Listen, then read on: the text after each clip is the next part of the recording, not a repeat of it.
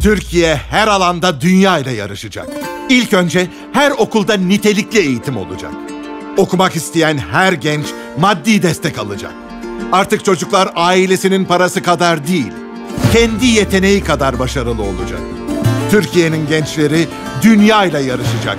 Geleceğimiz parlak olacak.